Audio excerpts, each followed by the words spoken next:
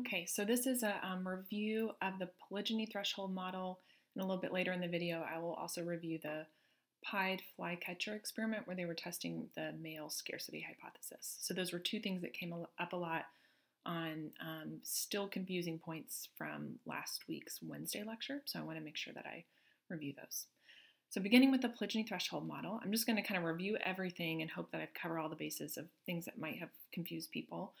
So this is a model that is used to predict the mate choice that females will make when they're um, in this very particular scenario where they can choose to mate with um, male A up here that's an already mated male, and that already mated male has a better, has a good quality territory.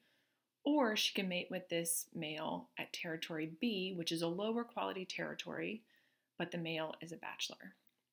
And so what we've talked about is um, there are there should be costs um, involved with being a second female or one of two females rather than being the only female, right? So you're going to get less resources, less parental care from a male, whatever it might be.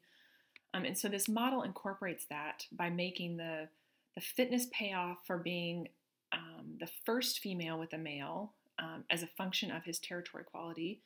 That line is always above the fitness payoff of being the second female at a territory. Okay, so this model assumes that if you're the second female arriving um, and mating with a male, you're going to have lower fitness than if you're choosing than if you were to get there first.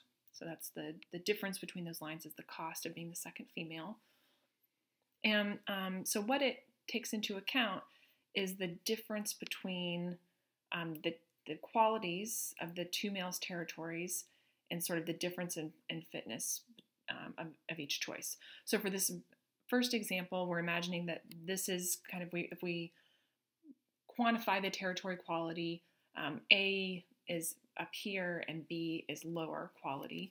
So if we look at where um, the females, the fit, fitness payoff to females for these two different choices. So remember, B is a bachelor male. So if the female mates with B, she'll be the first monogamous female. So we're going to trace up to where we hit the red curve and then look over to where we hit the y-axis, so that's her fitness payoff.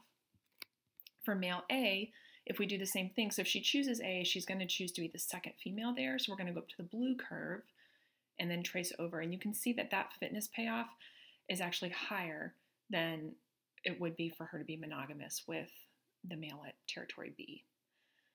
Okay, so the polygyny threshold is this point here. So if we look at where if we trace over, so this is the fitness payoff for being the monogamous, being monogamous with male B.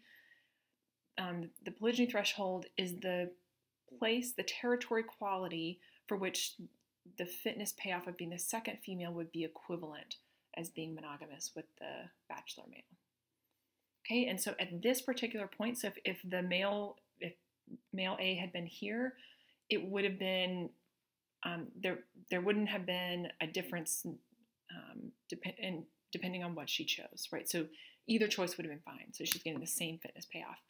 However, as you go above this threshold, so as you get anywhere over here, if the already mated male has a much higher quality territory that exceeds this threshold, then the female should always choose to, to mate with the um, already mated male rather than the bachelor male.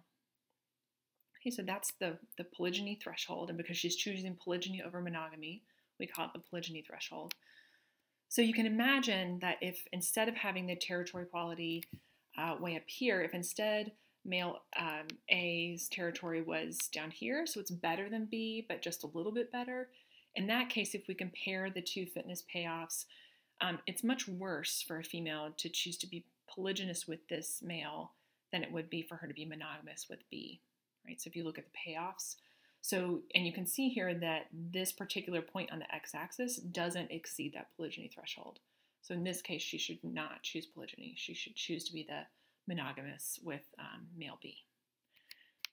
So what we can do with that, and what I had you do in class, is to imagine a scenario where you have um, males with different quality territories. Sorry about that.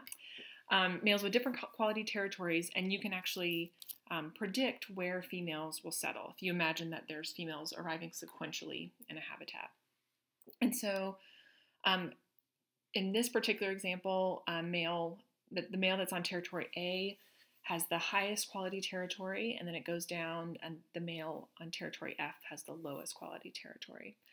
So the first female that arrives on the scene, if these are all unmated males, should choose male A because he has the best quality territory, right? So that's pretty um, straightforward.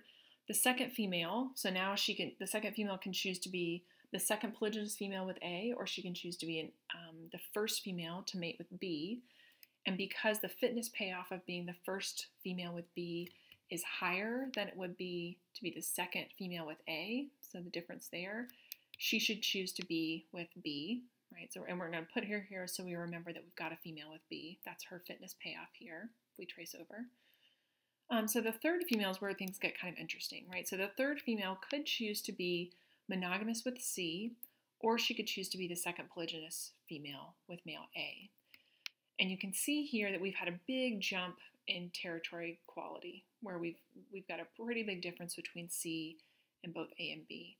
So in this case, the polygyny threshold is somewhere around here, right? So this is where um, the fitness should be equal between um, these the, the choices between an already mated male and an unmated male with C. And so you can see that A is pretty far above that right? So the difference in quality is so great that it exceeds that polygyny threshold. So the third female should um, choose to mate with A. And, um, oh, sorry, forgot to animate that.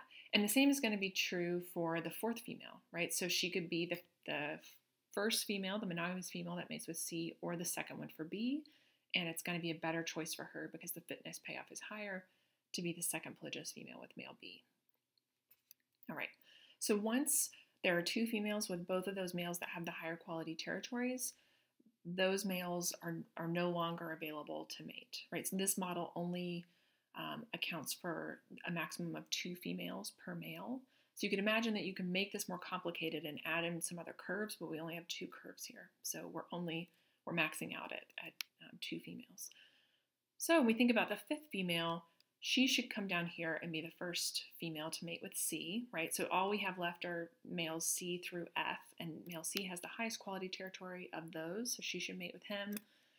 And then male 6 should go and be the monogamous female with D.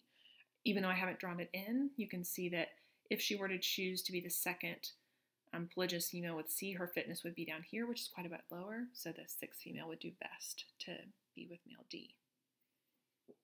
Okay, so those are the kinds of predictions that that model can make. Um, so hopefully that helped to clear up a few things for people.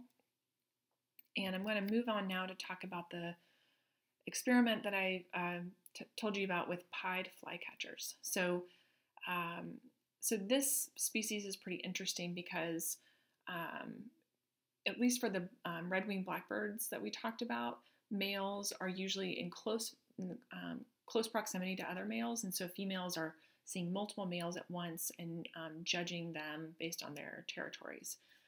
In the pied flycatcher, um, males often have their nests um, really far apart.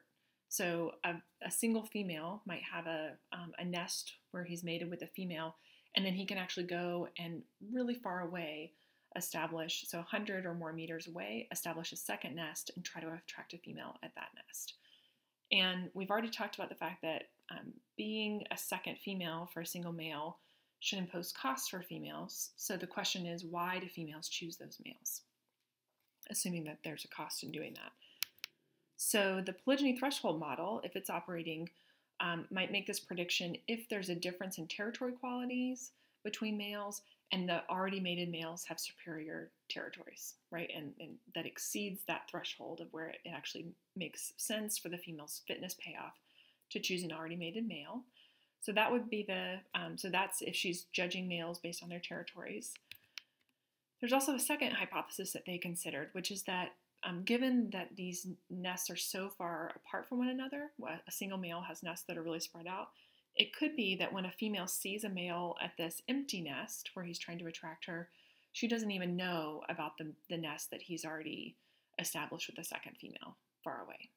Right? So in this case, this hypothesis states that females are making this choice because males are deceiving them. So they're being deceived. They don't actually realize that they're mating with an already mated male.